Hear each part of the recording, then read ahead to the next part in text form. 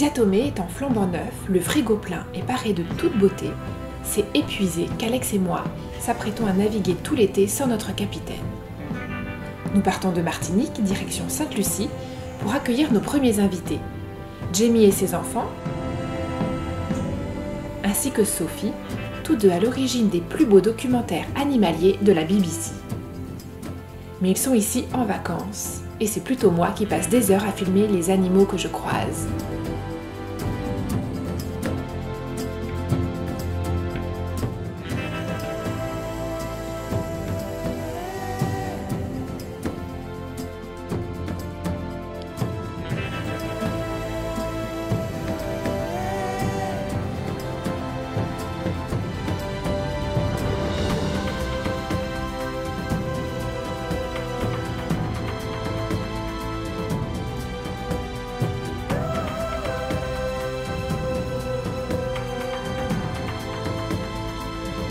Nous testons les marmites de boue volcanique et l'eau est vraiment très chaude.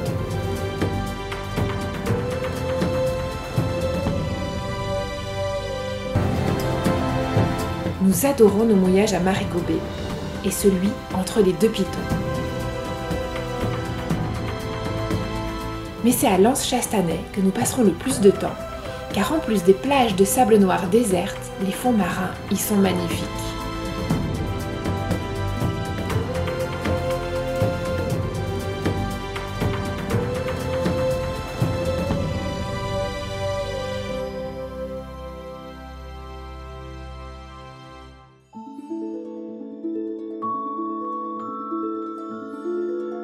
Et jour après jour, nous arrivons à apprivoiser un bébé poulpe.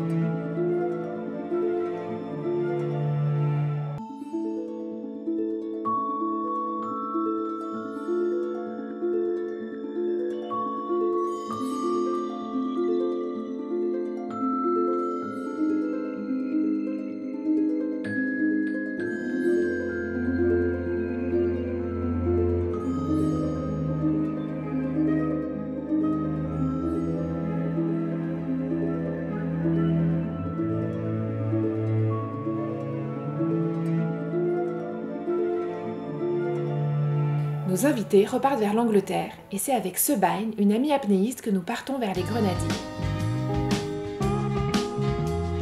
En naviguant, nous croisons des cachalots, des dauphins de Fraser,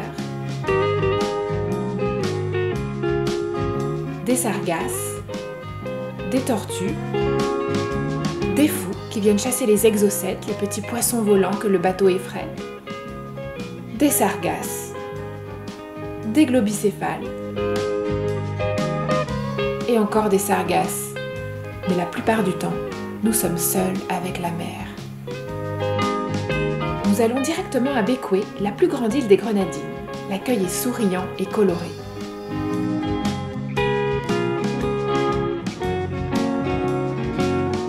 Nous tombons amoureux de l'île Moustique. Voiture électrique, tri des déchets, panneaux solaires, maison Barbie et autant de tortues terrestres que marines.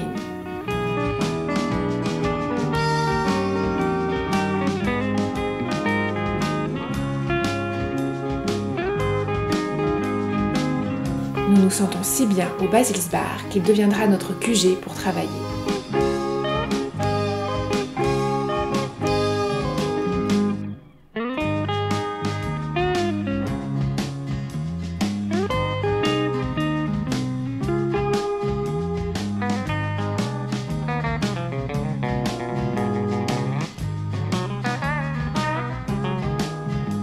C'est l'osmose parfaite avec ce Bain et chaque journée ressemble à un rêve devenu réalité.